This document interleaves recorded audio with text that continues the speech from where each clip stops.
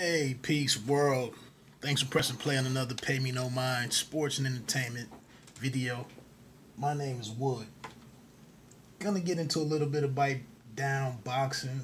Um, just continuing to monitor what's going on. You've heard probably that the the trilogy fight with Wilder and uh, Tyson Fury has has likely been uh, postponed into early October. I want to say October 3rd was the date, uh, which, you know, impacts a lot of things. And as some of these larger fights get rescheduled into the second half of the year, um, you know, how does this how does this impact the cost to watch all this to uh, you know for viewers? So, and then how do we, you know, in in a, in a fight like that, we wonder how that uh you know impacts the potential matchup with the winner of uh, Tyson Fury and Deontay Wilder three uh to uh you know a Joshua uh, Anthony Joshua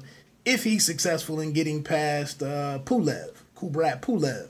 So it'll be interesting to see how all of these uh you know dominoes continue to fall and and how uh what the ripple effect is and so on and so forth Another bit of information that's out there, kind of a big fight, especially on the women's side. The biggest fight, uh, arguably the biggest fight to be made, is um, this thing. You know, this thing won't go away, but a potential matchup between Claressa Shields and uh, Laila Ali. You know, I, I haven't been in favor of this in some regards, but as I mentioned a couple of videos ago, it does seem like discussions are happening. So uh, Claressa Shields was on uh, the the Fight Nation uh, daily boxing show, the Ak and Barak show, and gave us an or provided an update on that fight. Even though the an undisputed fight at junior middleweight or super welterweight with with Canada's Marie Eve Dicaire is uh is that's been postponed that's what she was on the show to uh, talk about. Was that's been moved back uh, with no no date that has been rescheduled to at this time. So then it, the conversation moved over to uh, what's going on with Laila Ali, and I just thought this was interesting because it's hearing some numbers, you know, from directly from you know the individual that's involved with the fight. So a qu- couple of quick notes. There have been discussions between the two camps because Claressa confirmed that uh, someone from her team had been in touch with um, Laila Ali's lawyer or attorney or whatever. That's that was the phrase that uh, Laila, I mean that Claressa used. Uh, secondly, I mentioned this on the earlier video, but Laila Ali wants to be one of her demands is to be the A side and this is an absolute deal breaker for Claressa Shields. That's out of her mouth. Uh, she does not want to uh, proceed with this with uh, Laila Ali as the A side. Secondly, my third note uh, Shields gave an update on uh, communication with the investor that she previously mentioned as being, uh, you know, as backing this fight, as putting up the money for this fight and they've kind of pulled back.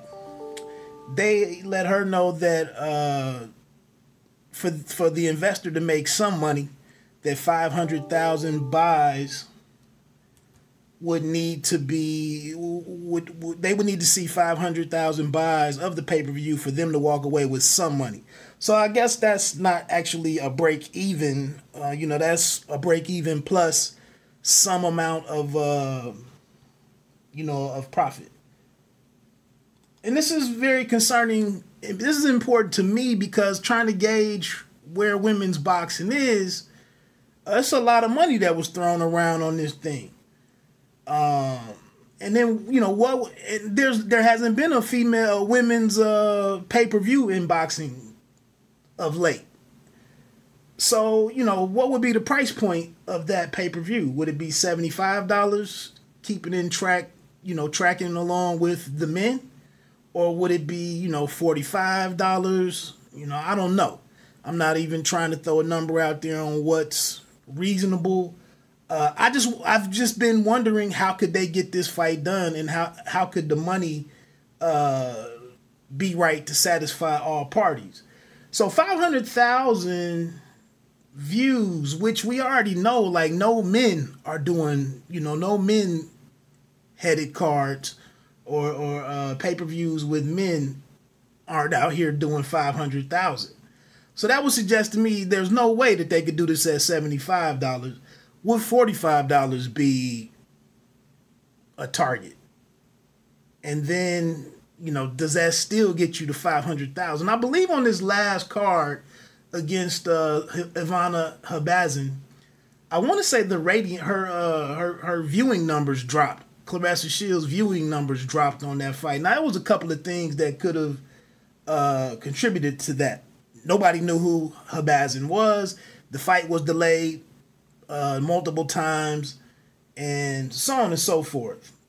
But um, so that was one interesting thing. And then also along with the pay per view situation, I guess Laila Ali did a pay per view back in the day, and the investor said that uh, it only did about hundred thousand views. So how do you make up that gap? You know, between the two of them, and Laila not being hot in the boxing world and not having any numbers to look at right now. Um, how do you close that gap? You know, a hundred thousand plus Claressa's popularity to get to 500,000 buys. Uh, and then, secondly, on this pay per view note, Claressa Shields has obviously never been on a pay per view other than participating on, I believe, the Ward, the Kovalev Ward first uh, card. Get back to that in just a second. Also, uh, Claressa Shields mentioned uh, another issue is Shields is a proponent of the winner receiving more than the loser in this fight. You know that Laila came out here and said she wanted either 10 M's or 5 M's. She said 5 or 10 to get her inspired, get her motivated to go through a training camp, to come down and wait and, and take this thing seriously. Um, I told you from my first video on this that these numbers seem, they don't even seem uh, feasible. You know, who's going to pay them five and ten million dollars? The best you know, the best smaller men out here aren't even getting that guaranteed. So that kind of had this matchup in jeopardy for me from the, you know, from the outset. But Claressa said, you know, for I think for some examples she threw around was, you know, let her get the let the winner get seven, which would be her because she she expects to win. She said let her get seven, and then you know maybe I mean maybe Laila Ali could get five or three million, whatever you know they're able to split up. Um, but again, like I said, you know, Laila threw it out there that her her demand or expectation was, you know, was five to ten. So these numbers are all over the place, and it kind of gives you an idea that there's quite a bit of work to be put together.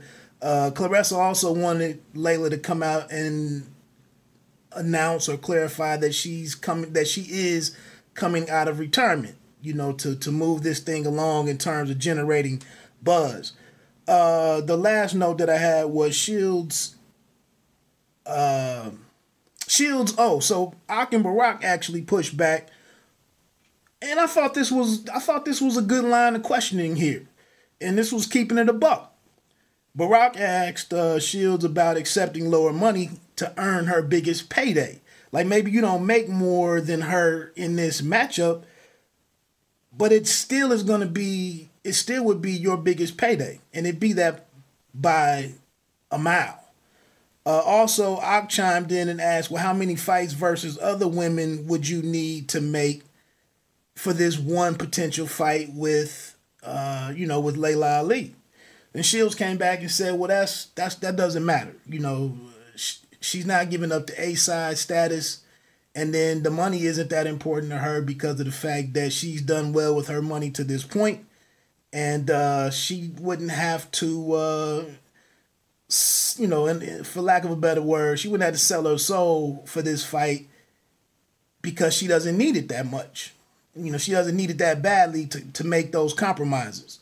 So uh, just some um, other notes here. You know, Shields revealed that she picked up three hundred thousand for her first fight. I mean, for her last fight against Hab- Habazin, and the one against the one that's uh, pending against Marie Eve Dicaire is scheduled. She's scheduled to make like or set to make about five hundred k for that one. This is interesting because we see what Showtime what their commitment is to her or uh, Salita Promotions. We see what uh, you know the commitment is financially to her, and that's a fight that was being targeted back up in Flint at the Dort Federal uh, Credit Union uh, Center.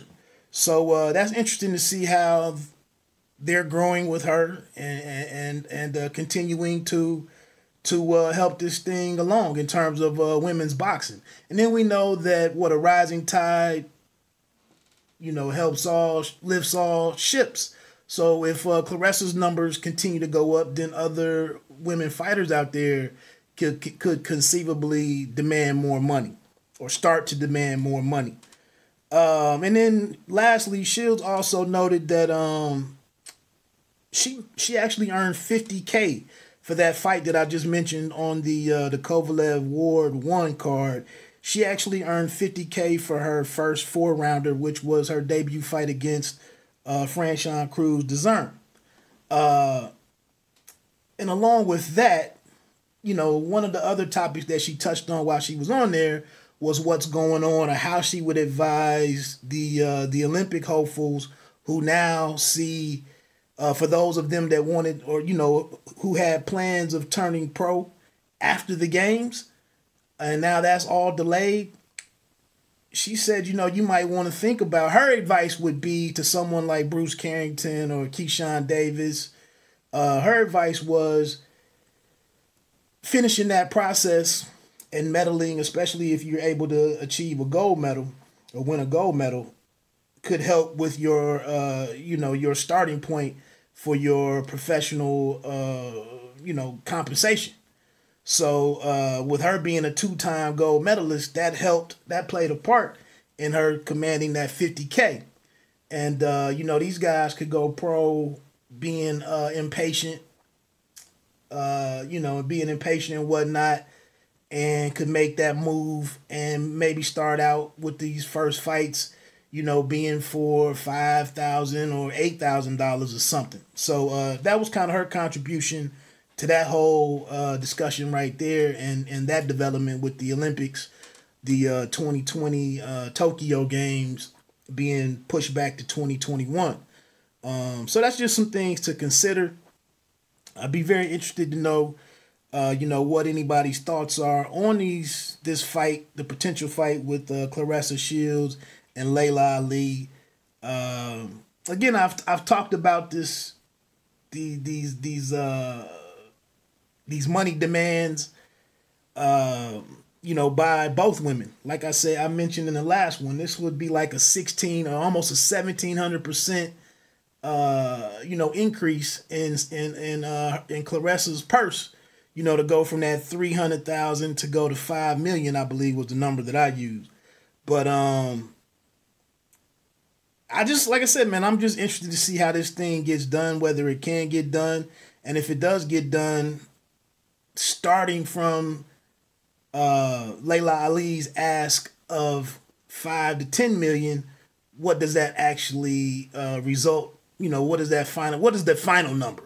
Which, like I said, could be one point something, two point something. Uh, in all reality, Um, because I'm wondering, you know, where do they hold this? Do people travel to it? Do fans travel to it? And do people buy the pay per view? And what does that card look like? You know, if if they have these types of, of salaries, what other uh, fights could be put on the card to sweeten the pot for uh, potential, uh, you know, viewers and, and pay per view buyers. So, like I said, man, I don't even know if this thing is possible. And it seems like if Laila Ali, you know, sticks to her guns, um, it sounds like Clay, uh, uh, Claressa is comfortable with just letting this thing pass on by. So, like I said, man, I don't know who's all interested in this. I'm just uh, kind of carrying on the discussion and, and would be Uh, very interested to hear any feedback and, and thoughts to any because I see plenty of um. It's if you watch the Instagram posts or the uh you know social media period and what uh Claressa is putting out there, it does seem like it's um you know some it's it's a it's an appeal to this fight.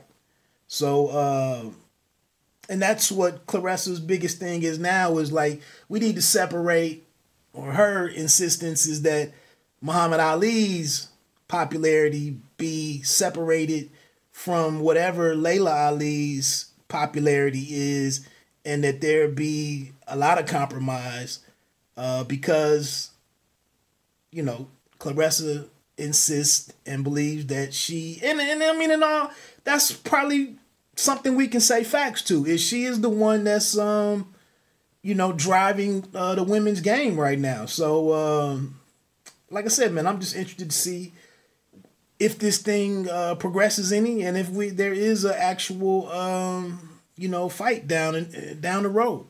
Again, this is pay me no mind.